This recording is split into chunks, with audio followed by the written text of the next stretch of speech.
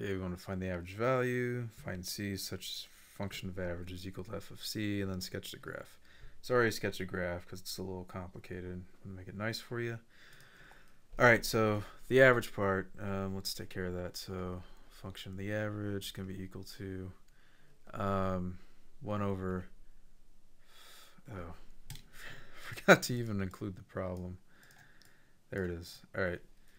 Um, 5 minus 2, integrating from 2 to 5, of x minus 3 squared dx.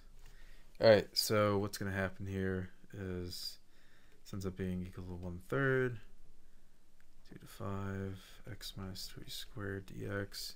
This integrated is equal to 1 third, x minus 3 cubed over 3 from 2 to 5 we end up with is equal to 1 third.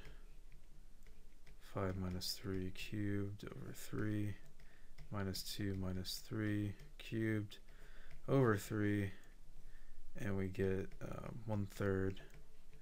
8 thirds plus 1 over 3 and we end up with 1 third times 9 over 3 or just 3 and we end up with 1 so the function of the average is equal to 1. All right, so that's that part. Um, for C, f of C to equal the function of the average, we do c minus 3 squared is equal to 1. c minus 3 is equal to plus or minus 1 because we took the square root. So c is going to be either equal to 2 or 4.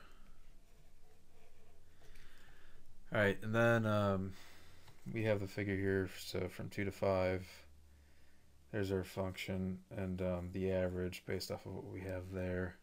Um, so it's at 1, so you can see there what we have um, graphing it. Okay, um, that's it.